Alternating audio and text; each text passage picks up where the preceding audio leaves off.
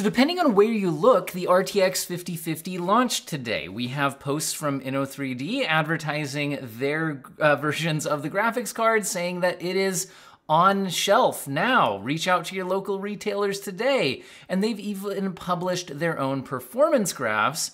But if you look for actual reviews from people like me, they're not out yet. There's no review sample program for this, which means I'm gonna look to buy one. However, if I try to buy one, I do see them listed, um, but currently not listed in stock. So like if I tried to buy one at Newegg, um, I do see them, and at least some of them are at the MSRP of $249.99, but they're not actually, um, like I said, I can't actually purchase them. Now, as far as I can tell, these didn't go in stock and then sell out.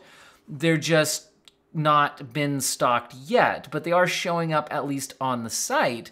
Uh, and also, NVIDIA themselves have released the game ready driver. So if anybody does buy one of these, you can actually use one. So, uh, in a sense, the RTX 5050 has launched now, but it's just whenever an actual uh, GPU ends up on store shelves ready to buy, I guess, it doesn't seem like there is any specific launch date.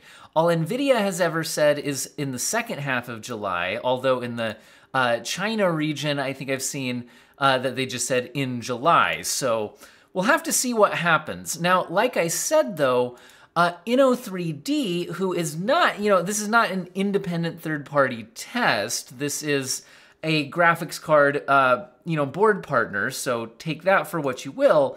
They have released some of their own testing numbers though, which I think could at least be somewhat uh, interesting. Now, uh, when I was analyzing this, I was trying to figure out what games are they testing, and so I'm just using uh, the Google Lens to look this up here. This one appears to be Horizon Zero Dawn, uh, where the RTX 4060 is kind of the middle bar here at 118 FPS. The RTX 5050 is hitting 110 FPS. So the RTX 4060 is faster in this test than the new 5050.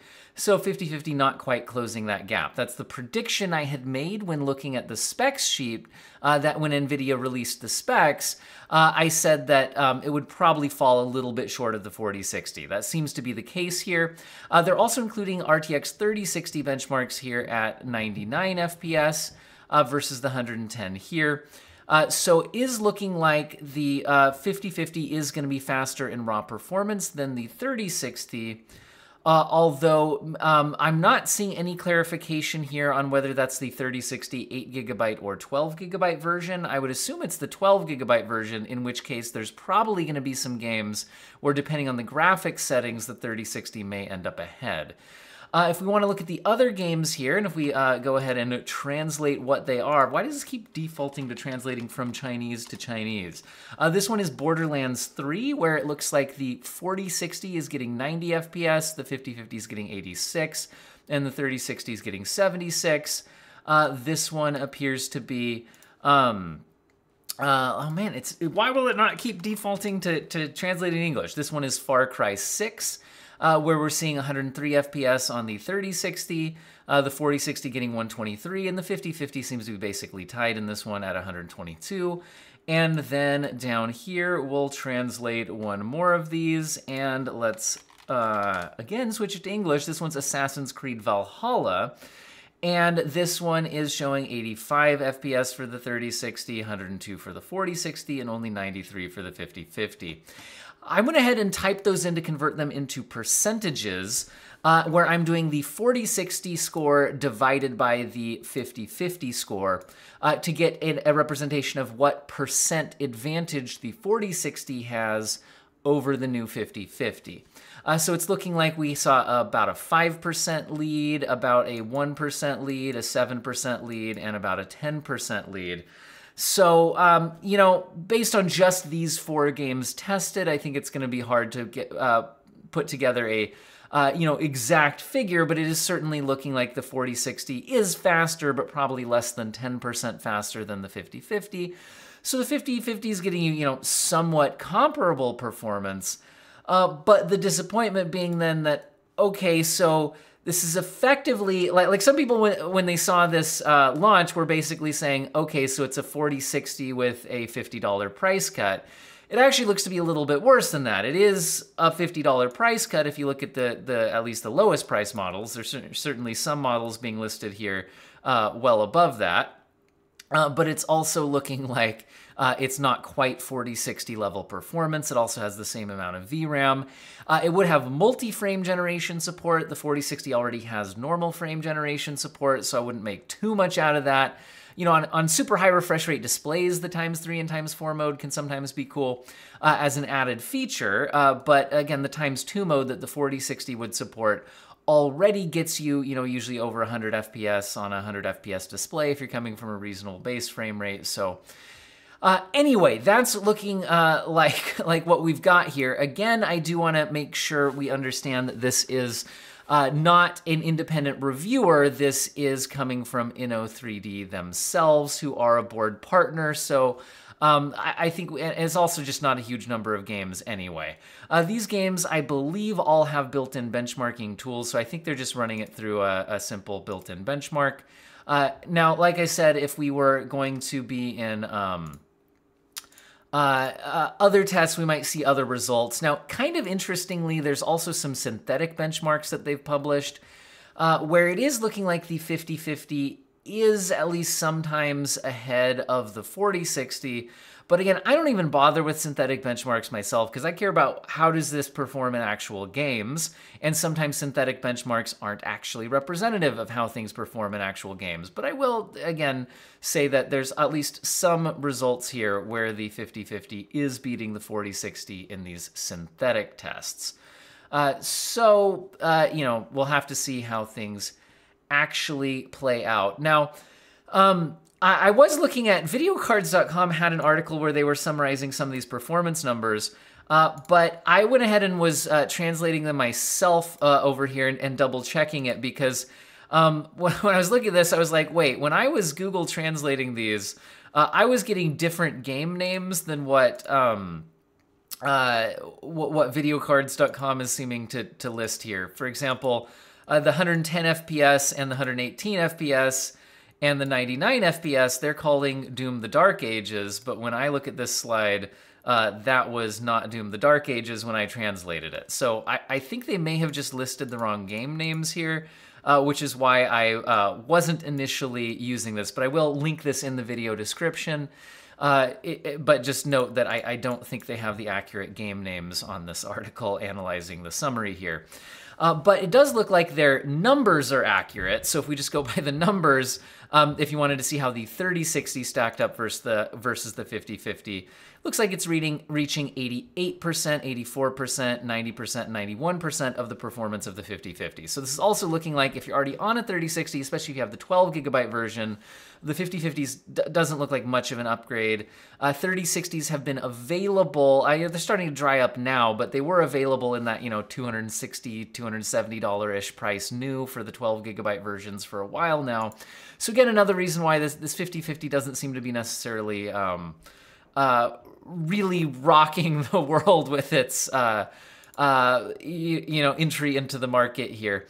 Uh, also, another thing to look at is um, if these prices at all, like I don't feel like these board partners should have any wiggle room to go above the $250 at all.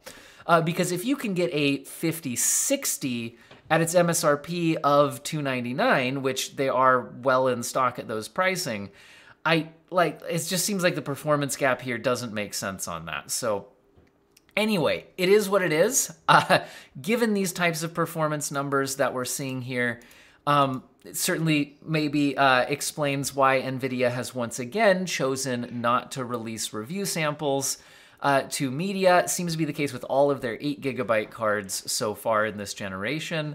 But like I said, I'm going to keep my eye out refreshing this page. Once something comes in stock, I'll buy one.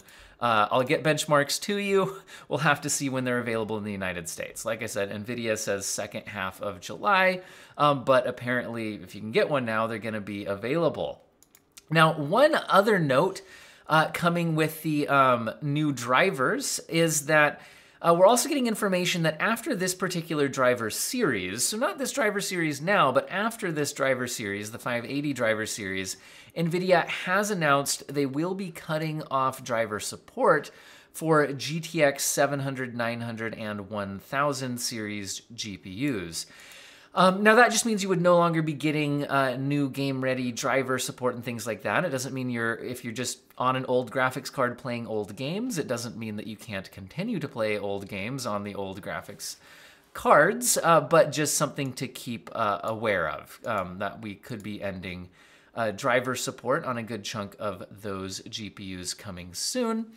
Uh, and let's see, any other interesting news going on today, uh, GPU related. We did see Intel talking about their Battlemage GPUs again, but this seems to be more talking about just expansion into Edge and AI. And that's really one thing that I wanted to uh, look at here, though, is okay, so in the current market, what is this 50 50 kind of going up against? Well, ideally, we would have Intel's B580 in this price class uh, which the B580 in my testing was frequently faster than a 4060. And we're already seeing, at least in the, these early benchmark numbers, that the 4060 is faster than the 5050. So it seems like, again, can't benchmark them against each other myself right now. It seems like the B580 would be faster than a 5050, and it also has 12 gigabytes of VRAM, and by MSRP is meant to be at that same kind of price class. Uh, the problem is, though, at least in the United States, I'm not seeing it listed at um, at its MSRP. It has just been like $300 plus every time I check. So, uh, but I have heard from people that in other regions that might not be the case. So, depending on where you're at in the world and what availability looks like, it's possible that Intel's Arc B580 could be a strong competitor in that same price class as the 5050, uh, giving you the additional VRAM and possibly a bit more performance. Although again, uh, in my testing, I, I, still do find that um, you know NVIDIA's feature set and drivers, despite not having NVIDIA's drivers haven't been quite as good as they usually are lately, uh, were still uh, giving me better results than um, uh, I typically get from the Arc GPUs. Uh, so do keep that in mind. Anyway, uh, so that's what I've got for you guys. It is uh, sort of launch day for the 5050 whenever they do happen to end up on store shelves. um, uh, I guess uh, I'll keep my eye out, but um, again, we at least have some preliminary idea that the you know it's a little slower than the 4060, a little faster than the 3060, but with less VRAM and uh, that's about all we seem to know at this point. Hopefully you guys found the video useful and or interesting, and have an excellent day.